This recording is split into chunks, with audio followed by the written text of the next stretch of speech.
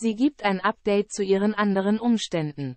Valentin, 36, und Renata Lusin, 36, überraschten ihre Fans vor wenigen Wochen mit einer Knaller-Nachricht. Nach mehreren Fehlgeburten erwarten die beiden Nachwuchs. Mittlerweile ist die Profitänzerin von Let's Dance auch schon im sechsten Schwangerschaftsmonat und gibt nun ein paar Details preis. Renata bekommt jetzt immer mehr von ihrem Baby im Bauch mit. Wie die Beauty via Instagram berichtet, macht sie aktuell ohne ihren Valentin Urlaub auf Fuerteventura. Ihren Fans gibt sie dabei nun ein Update zu ihrem aktuellen Gemüts- und Schwangerschaftszustand. Vor allem ihr Baby scheint sich prächtig zu entwickeln.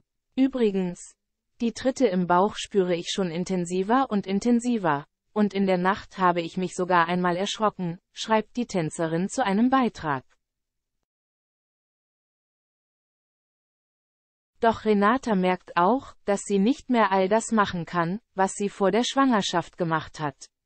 Normalerweise mache ich hier so viel Sport und spiele Tennis. Dieses Mal ist es anders.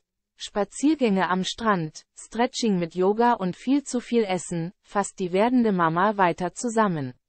Sie habe das Gefühl, dass die Zeit wie im Fluge vergeht und sie einfach nur die restliche Zeit genießen wolle.